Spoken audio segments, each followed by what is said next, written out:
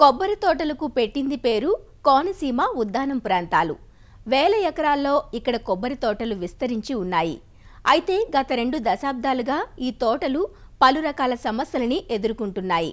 ప్రకృతి విపత్తులు చీడపీడలు తోటలకు సవాళ్ళుగా మారాయి. వెరసి తోటలు తొలగించిన సందర్భాలు మనకు కనిపిస్తూనే ఉన్నాయి. ఇలాంటి విపత్కర పరిస్థితుల్లో గత సంవత్సరం నుంచి వదలని పీడలా దాపురించి కొబ్బరి రైతులకు కంటి మీద కునుకు లేకుండా చేస్తోంది సర్పిలాకార తెల్లదోమ.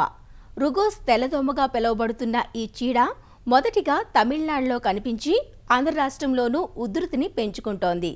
పురుగు మందులకు లొంగకుండా పోయి రైతులను ముప్పు తిప్పులు పెట్టిస్తోంది. కొబ్బరిలో తెల్లదోమ అనే పురుగు వచ్చి బాగా ఉధృతం అయిపోయి అది సాయంకాలం నాలుగున్నర నుంచి ఉదయం ఎనిమిది వరకు బాగా విపరీతంగా పెరిగి తిరగడం చేయడం చేస్తుందండి. చెట్టుని ఒక గూడు ఆకారంగా తోలాగా గుడ్లు పెట్టి దాన్ని ఇచ్చేసి నల్లగా దాని మూత్రం వల్ల ఇదైపోతుందండి కొబ్బరి చెట్టు. దాన్ని ఎప్పుడు మేము ఎన్ని మందులు కొట్టినా సరే ఎంత ఇది లేదు. కొబ్బరి ఆయిల్ పామ్ జామ అరటి తోటల్లో తన ఉనికిని చాటుకుంటున్న రుగోస్ తెల్లదోమను జీవ నియంత్రణ పద్ధతుల ద్వారా నియంత్రించడంతో పాటు రానున్న రోజుల్లో దీన్ని దాదాపుగా అదుపు చేసే వీలుందంటూ వివరాలను మనకందిస్తున్నారు విశాఖ జిల్లా అనకాపల్లి ప్రాంతీయ వ్యవసాయ పరిశోధనా స్థానం ప్రధాన శాస్త్రవేత్త ఎం విశాలాక్షి. కొబ్బరిలో గత రెండు సంవత్సరాల నుంచి విధృతి అవుతున్నటువంటి తెల్లదోమ మీద జీవ నియంత్రణ పద్ధతుల్లో యాజమాన్యం చేపట్టమని మాకు చెప్పడం జరిగింది. రెండు వేల పద్దెనిమిదిలో మన ప్రాంతంలో గమనించారు. ఇప్పుడు చూస్తే కనుక చాలా ఉధృతిగా ఉందండి. ముఖ్యంగా తోటలన్నీ కూడా ఒక డెబ్బై ఐదు శాతం వరకు కూడా ఆకులు తెల్లదోమని ఆశించినట్లున్నాయి. ఇది రసం పీల్చే పురుగు. ఇది మనం చూస్తే కనుక ఆకు అడుగు భాగాన కొబ్బరి మట్టలకి అడుగు భాగాన ఈ పురుగు గుడ్లను పెడుతుంది. గుడ్డల నుంచి వచ్చినటువంటి పిల్ల పురుగులు లైట్ కలర్ గోధుమ నుంచి పసుపు రంగులో ఉంటాయి. అవి పురుగులు క్రమంగా ఐదు దశల్లో పెరుగుతూ తల్లి పురుగుగా కూడా మారుతూ ఉంటుంది. ఒక నెల రోజుల వరకు దాదాపు దాని జీవితకాలం ఉంటుందండి. ఈ టైంలో మొత్తం ఆకుల నుంచి రసాన్ని మొత్తం పీల్చేస్తూ ఉంటుంది ఆకుల అడుగు భాగం నుంచి. దీనివల్ల ఏమవుతుంది అంటే ఇది విసర్జించినటువంటి తేనె వంటి పదార్థం మీద బూజు ఏర్పడుతుంది. బూజు మీద ఫంగస్ నల్లగా ఏర్పడి ఉంది. దీనివలన ఏంటంటే కిరణజన్య సంయోక్రియ జరగదు. దానివల్ల మొక్క ఎదుగుదల కూడా మనకి తగ్గిపోతుంది. కొన్ని ప్రాంతాల్లో కాయల మీద కూడా సర్పిలాకార తెల్లదోమ ఆశించినట్లుగా మనము గమనించాము. ఆ కాయలు కూడా పెరగకపోవడము కాయ దిగుబడి తగ్గిపోవడము అనేటటువంటివన్నీ జరుగుతున్నాయి. సో రైతులు సత్వరం దీని మీద ఈ పురుగు తీవ్రతగా ఉందని గమనించారు.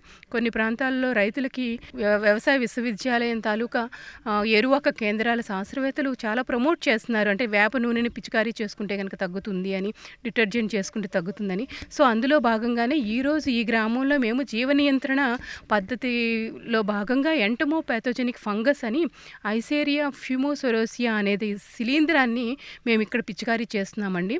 ఒక ఐదు గ్రాములు శిలీంధ్ర పౌడర్ని ఒక లీటర్ నీటిలో కలుపుకొని ఆ రకంగా చెట్లకి పిచికారీ చేయడం జరిగింది. ఇది టూ స్ప్రేయింగ్స్ చేద్దామన్నది మాకు నిర్దేశించారు. పదిహేను రోజుల వ్యవధిలో రెండు సార్లు పిచికారీ చేస్తాము. సో ఇది డెఫినెట్గా ఈ శిలీంధ్రము ఈ తెల్లదోమ మీద పెరుగుతుంది. దాని ద్వారా ఈ శిలీంధ్రం ప్రకృతిలో పెరుగుతూ ఈ తెల్లదోమని పూర్తిగా అరికడుతుంది. తర్వాత సమగ్ర యాజమాన్య పద్ధతుల్లో ముఖ్యంగా చూసుకునేది మొదటిది తక్కువ దశలో ఆశించినప్పుడు. సింపుల్గా వాటర్లో డిటర్జెంట్ మిక్స్ చేసుకొని పది గ్రాముల డిటర్జెంట్ని ఒక లీటర్ నీటిలో కలుపుకొని పిచికారీ చేసుకున్నట్లయితే కనుక పూర్తిగా అది తగ్గుతుంది. ఇంటెన్సిటీ కొంచెం పెరుగుతునేటప్పుడు ఎక్కడైనా మనకి మిత్ర పురుగులు అవి ఉన్నాయి అనిపించినప్పుడు వేప నూనె కూడా మిక్స్ చేసుకోవచ్చు. వేప నూనె అయితే కనుక టెన్ థౌసండ్ పీపీఎం ఉన్నది ఒక ఎంఎల్ లీటర్ నీటిలో కలుపుకొని అదే లీటర్ నీటిలో పది గ్రాములు డిటర్జెంట్ కూడా కలుపుకొని ఒక పదిహేను రోజుల వ్యవధిలో మటుకు రెండు సార్లు చేయాల్సి ఉంటుంది. చేయడం వల్ల కూడా ఈ పురుగును నియంత్రించుకోవచ్చు.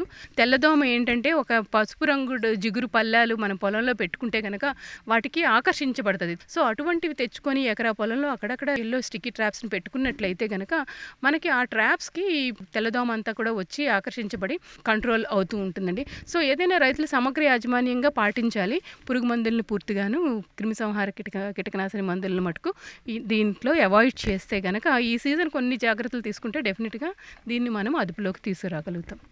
రైతు సోదరులు ఈ తెల్లదోమను నివారించుకోవడానికి విష రసాయనాలని ఎక్కువగా వాడినట్లయితే ఈ దోమ ఉధృతి మరింత పెరిగేటువంటి అవకాశం ఉంది కాబట్టి జీవ సంబంధిత మందులైనటువంటి వేప కషాయం కానీ వేప నూనె కానీ లేదా మనం ఎన్బిఐఆర్ ద్వారా రూపొందించిన ఐసేరియా ఫ్యూమికార్నివోసా అనేటువంటి ఈ కల్చర్ని ఉపయోగించుకున్నట్లయితే తొందరగా పురుగు నియంత్రణకి తెచ్చుకోవడానికి అవకాశం ఉంటుంది.